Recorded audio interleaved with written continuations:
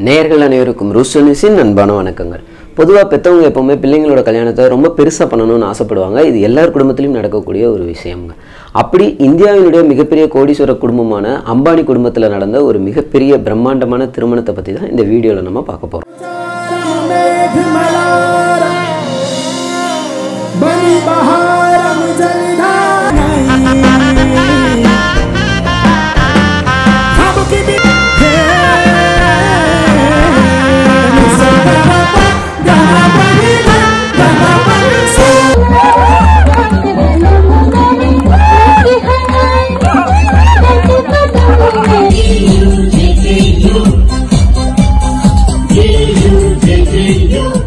முகேஷ் அம்பானி அவர்களுடைய மகள் இஷா அம்பானிக்கும் பிரமல் குழுமத்தின் வாரிசான ஆனந்த் பிரமல் அப்படின்றவங்களுக்கும் இன்று பன்னெண்டு பன்னெண்டு ரெண்டாயிரத்தி பதினெட்டு அன்னைக்கு வந்து திருமணம் நடைபெற்றிருக்கு மும்பையில்.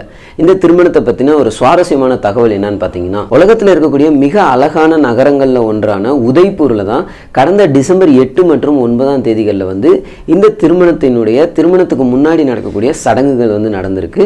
அதன் பிறகு டிசம்பர் பதினொன்று நேற்று மாலை வந்து அங்கே திருமண வரவேற்பு நிகழ்ச்சி நடந்திருக்குங்க. இதுக்காக மட்டும் உதய்பூரில் பல நட்சத்திர விடுதிகள் எல்லாமே வந்து ஒரே செக்கில் வந்து அவர் புக் பண்ணியிருக்காரு. ஏன்னா வர்றவங்க எல்லாருமே செலிப்ரிட்டிஸ் இல்லையா? அந்த திருமண நிகழ்ச்சிக்கு வந்த பாலிவுட் ஆக்டர் ஆக்ட்ரஸ் யார் அப்படின்னு கேள்வி கேட்டிங்கன்னா பாலிவுட்டில் யாரெல்லாம் ஆக்டர் ஆக்ட்ரஸாக இருக்காங்களோ அவங்க எல்லாமே அங்கே ஃபுல் அட்டன்ஸ் கொடுத்துட்டாங்க. எப்படி கிளாஸில் ஹண்ட்ரட் பர்சன்ட் அட்டன்ஸோ அது மாதிரி அங்கே வந்து எல்லாருமே அட்டன் பண்ணியிருக்காங்க.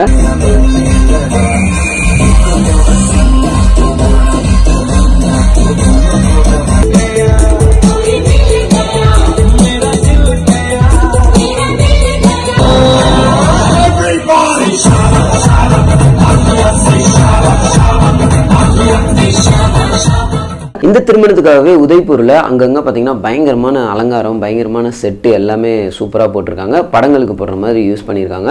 அதன் பிறகு உதய்பூரில் இருக்கக்கூடிய அரண்மனையில் தான் இந்த திருமண வரவேற்பு நிகழ்ச்சி நடந்திருக்கு. இந்த திருமணத்துக்கு இவங்க எல்லாரும் மும்பையில் இருக்காங்க இல்லையா? மும்பையிலேருந்து இந்த உதய்பூருக்கு போயிட்டு வர்றதுக்காகவே எண்பதுலேருந்து நூறு ஃப்ளைட் வரைக்கும் குத்தகைக்கு எடுத்துட்டாரு அப்படின்னு ஒரு பக்கம் கருத்து சொல்லப்படுது.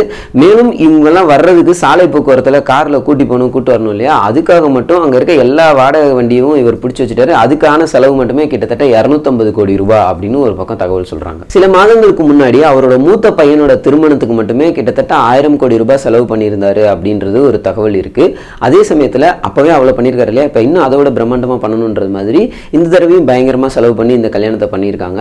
அவங்க இன்விடேஷன் கார்டு ரெடி பண்ணது மட்டும் பார்த்தீங்கன்னா கிட்டத்தட்ட ஒரு கார்டு ஒரு லேக்குக்கும் மேலே அப்படின்னு சொல்லப்படுது. திருமண வரவேற்பு நிகழ்ச்சி தாங்க நேற்று உதய்பூரில் நடந்திருக்கு. கல்யாணம் இன்னைக்கு மும்பையில் நடந்துருச்சு. ஆனால் இவங்க நிச்சயதார்த்தம் எங்கே நடந்தது தெரியுமா? இத்தாலியில் கொண்டு போய் வச்சுருக்காங்க. அந்த அளவுக்கு பிரம்மாண்டமாக இந்த திருமணத்தை நடத்தியிருக்காங்க. இஷா அம்பானி மற்றும் ஆனந்த் பிரமல் ரெண்டு பேருமே முன்னாடியே லவ் பண்ணியிருக்காங்க. அதுக்கு வீட்டில் சம்மதம் தெரிவித்து இந்த திருமணம் நடைபெற்றிருக்கு.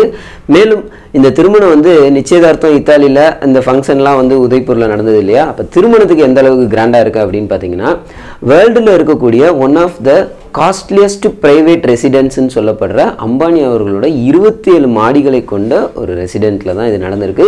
இதுக்காக மட்டும் அந்த இருபத்தி ஏழு அடுக்கு மாடியும் வந்து பயங்கரமாக வண்ண விளக்குகள் அலங்காரம்னு பயங்கரமாக செட்டு போட்டிருக்காங்க.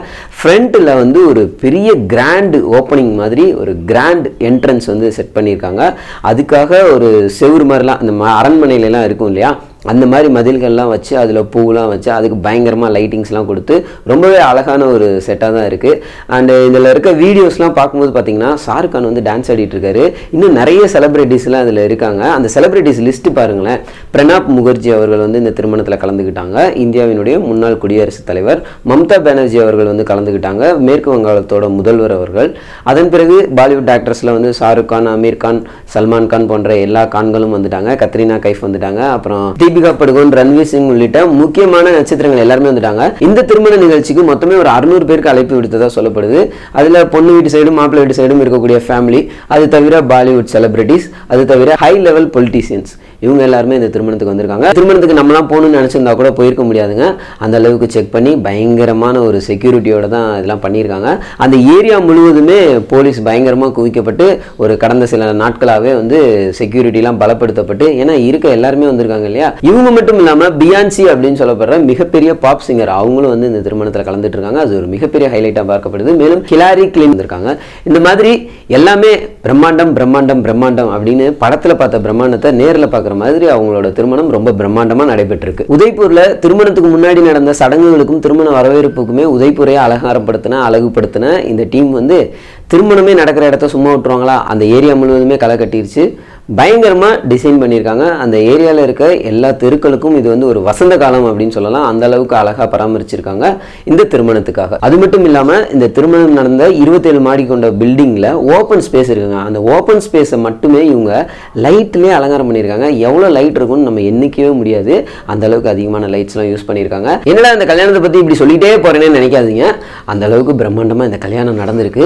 நம்மளாம் இந்த மாதிரி கல்யாணம் பண்ண முடியுமா அப்படின்னா அது கொஞ்சம் கேள்விக்குறி தான். நம்மளும் அம்பானி மாதிரி ஏதாவது மோடி அவர்கள் மாதிரி ஒருத்தர் கையில் வச்சுக்கிட்டு பெரிய ஆள் இந்த மாதிரி நம்மளோட பிள்ளைங்களோட கல்யாணத்தையும் பண்ணலாம்னு சொல்லிக்கிட்டு மேலும் இது பண்ணுற வேற ஒரு வீடியோவில் உங்களை சந்திக்கும் வரை உங்களிடமிருந்து விடைபெறுது த ரூஸ் நியூஸ் டீம். இந்த வீடியோ உங்களுக்கு பிடிச்சிருந்தா லைக் பண்ணுங்கள் ஷேர் பண்ணுங்கள் த ரூஸ் நியூஸ் சேனலை சப்ஸ்கிரைப் பண்ணுங்கள் மறக்காமல் பெல் சிம்மில் ப்ரெஸ் பண்ணுங்கள் நன்றி வணக்கம்.